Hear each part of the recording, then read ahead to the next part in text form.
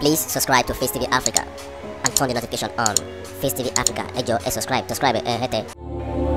Face TV sùwòbí. mo fi àsìkò yìí kí gbogbo ẹ̀yin mus- ẹ̀yin brothers and sisters mi nínú mùsùlùmí òdodo ẹ ṣé mo dúpẹ́ wá tó Ramadan lágbára Ọlọ́run gbogbo àdúrà tá a gbà ní àsìkò Ramadan yìí Ọlọ́run á bá wa mú lọ sí ilé àṣẹ inshallah pàtàkì jùlọ lásìkò olí láti kọjú ìta wà yìí ẹ jọ̀ọ́ ẹ súnmọ́ Ọlọ́run ẹ tọrọ fún dáríjì ẹ̀ṣẹ̀ ẹ béèrè ohun tí ẹ fẹ́ ó ṣe kókó um, third Ramadan lecture mi lélẹ̀ inshallah because like amade the tenth one ní agbára Ọlọ́run àdèmà gbé káàkiri I want to use this video to say thank you to all my brothers and sisters in, sisters in Islam. Thank you so much for following me on my TikTok. We've been having Ramadan lecture since day one and you've been following me. Thank you so very much. I'm so very happy to have this my third Ramadan lecture. And I want to use this opportunity to say welcome to everyone that has been here to celebrate with me. Ẹ ṣé gan ni mo dúpẹ́ o. Ẹ ṣé gan ni.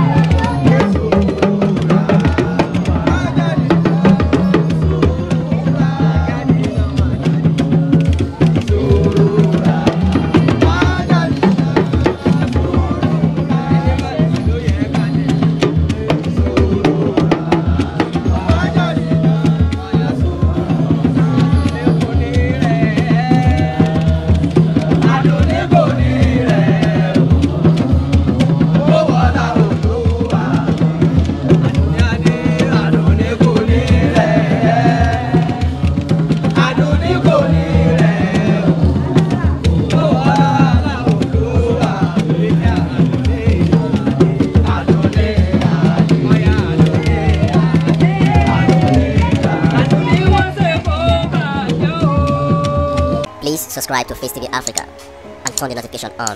Face TV Africa, jọ̀ọ́ ẹ subscribe, subscribe ẹ hẹ́tẹ̀. Face TV sùwòbí.